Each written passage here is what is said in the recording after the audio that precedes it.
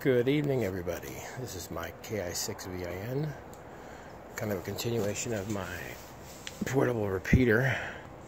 Turn this sideways here. So, finally got it all done. A few changes, actually, a lot of changes.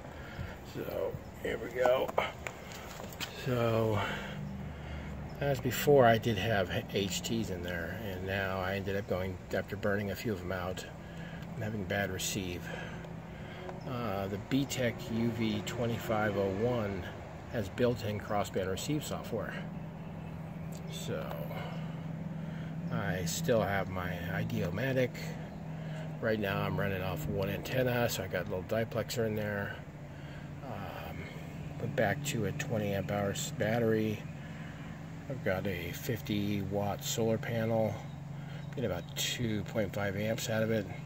Solar controller microphone, SWR meter. So everything's working good.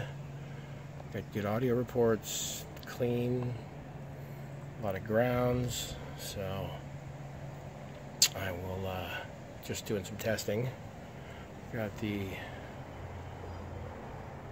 got the antenna up next to my cactus jack there, running it off. Just a TV antenna tripod, 20 foot flagpole, sectional, Diamond X30, LMR 400 cable. So, so here it is, the Super Stealth Camo Repeater bug out box.